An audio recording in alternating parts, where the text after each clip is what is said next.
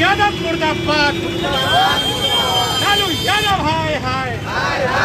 कांग्रेस नेताओं पे टिप्पणी बंद करो।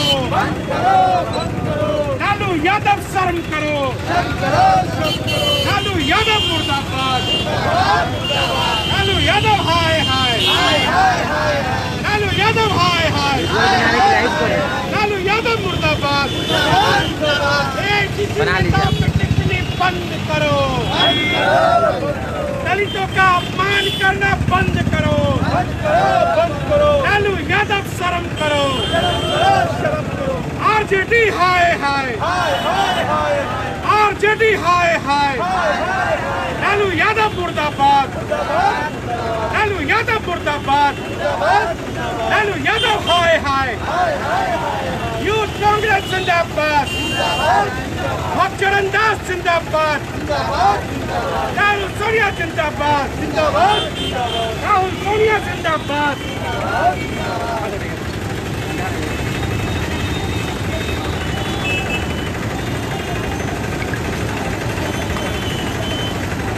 लालू यादव मुर्दाबाद भक्चरण दास जिंदाबाद लालू यादव, हाय हाय।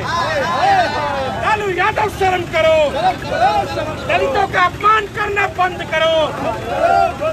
लालू यादव, मुर्दाबाद। एआईसीसी जिंदाबाद।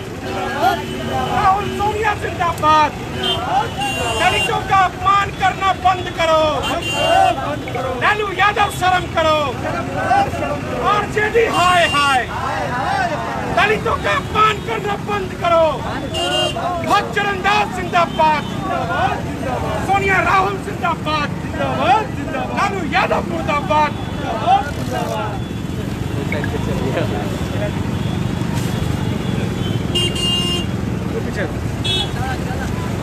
ये बताइए क्यों पुतला दहन किया गया है? जिस तरीके से आरजेडी सुप्रीमो लालू यादव ने बिहार के कांग्रेस के इंचार्ज भक्त चरण दास जो कि एक दलित समाज से आते हैं और पूर्व केंद्रीय मंत्री हैं, उनके बारे में अमर्यादित शब्दों का प्रयोग किया है। आज उससे पूरे देश के अंदर, दलित समाज के अंदर, कांग्रेस परिवार के अंदर आक्रोश है। लोकतंत्र के अंदर, किसी भी राजनीतिक दल के नेता को दूसरे दल के नेता के बारे में अमर्यादित शब्द के इस्तेमाल का अधिकार नहीं है। खास तौर पर एक दलित समाज के बेटा को जिस तरीके से लालू यादव ने बदनाम और बेइज्जत करने का कोशिश किया है। इससे लालू यादव का जो दलित विरोधी चेहरा है, आरजेडी का जो दलित विरोधी चेहरा है, वो बेनकाब हो चुका है। सीतामढ़ी में, सीतामढ़ी युवा कांग्रेस में मैसौल चौक पर लालू यादव का पुतला फूका है। हम चेतावनी देना चाहते हैं, आरजेडी सुप्रीमो को, कि आप मर्यादा के अंदर रहकर राजनीति करें। कांग्रेस जानती है कि आपका इलाज क्या हो सकता है, इसलिए कांग्रेस पार्टी और कांग्रेस के नेताओं पर अमर्यादित टिप्पणी हम बर्दाश्त नहीं करेंगे। लालू यादव मुर्दाबाद।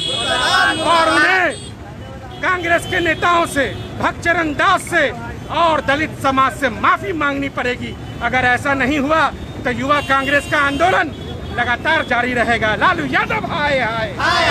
दलितों का अपमान नहीं सहेंगे। भक्तचरण दास जिंदाबाद।